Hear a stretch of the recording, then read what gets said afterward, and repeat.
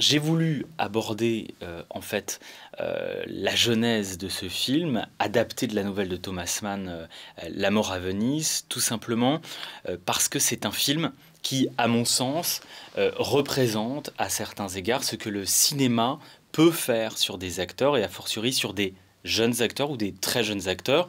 Euh, Björn Andresen, quand il a tourné ce film, il avait 15 ans. Euh, mais euh, en fait, c'était encore un enfant. Et à 15 ans, il a incarné l'objet du désir, l'objet du désir d'un vieil homme, dans euh, le film, et puis euh, l'objet du désir aux yeux du monde. Il est devenu tout simplement un symbole de désir, un symbole sexuel, euh, notamment je pense au Japon, où il a fait toute une tournée après la sortie du film. Et c'est un acteur, Björn Andresen, qui aujourd'hui a 67 ans, 68 ans, et qui explique avoir été détruit tout simplement par ce film, par le fait d'avoir incarné euh, le, désir alors qu'il était encore un enfant.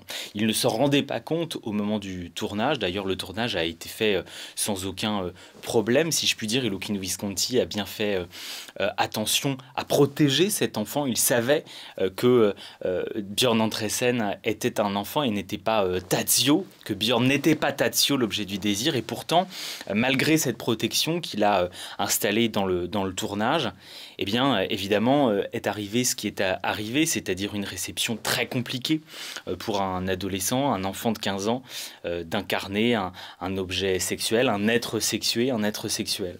Et, donc ça me semblait euh, intéressant de décrire, alors qu'on entend de plus en plus parler des abus sexuels dans le cinéma, de la domination des réalisateurs sur leurs acteurs, ça me semblait important d'écrire une destruction selon l'acteur, à partir d'un seul regard. C'est-à-dire que c'est ce qui est sur le bandeau du livre. Il y eut un seul regard, les yeux de Visconti qui incarnaient ceux du monde.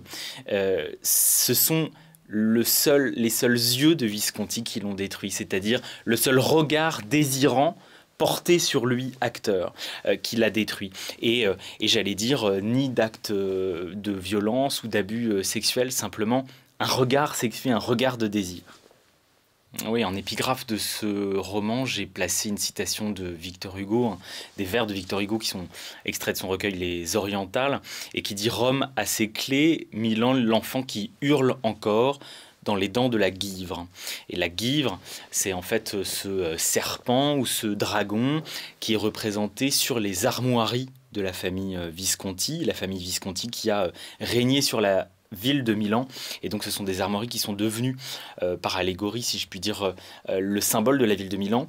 C'est donc un serpent sinuant qui tient dans sa gueule un enfant, tout simplement. Et hum, c'est un serpent couronné, pour représenter le duché de Milan, qui tient dans sa gueule un, un enfant, et ça m'a paru évidemment particulièrement euh, marquant de voir euh, euh, le parallèle qui pouvait être fait entre l'histoire de la famille de Visconti, une histoire régnante sur la ville, sur un duché, une histoire de domination, et sa propre euh, histoire à lui, si je puis dire, en l'occurrence dans le cas qui nous intéresse, euh, sa propre histoire de domination par nature sur un acteur qui n'était qu'un adolescent, qu'un enfant, et qu'il a euh, forcément dominé. Et, qu'il n'a, alors qu'il voulait le protéger, pas suffisamment protégé, et qu'il a donc dévoré, si je puis dire, aux yeux de, de Björn Andresen.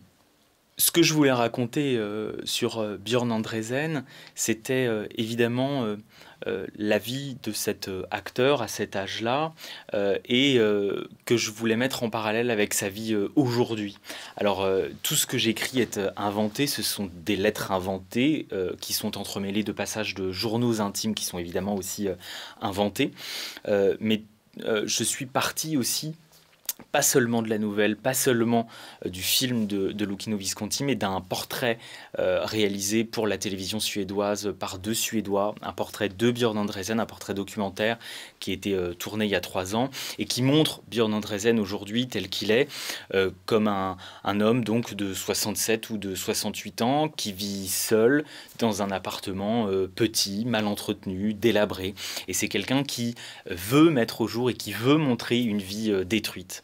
Alors, euh, je trouvais ça particulièrement euh, intéressant, évidemment, euh, de, euh, de, de, mettre en parallèle sa vie aujourd'hui et cet élément fondateur qui a été à ses yeux le, tournage.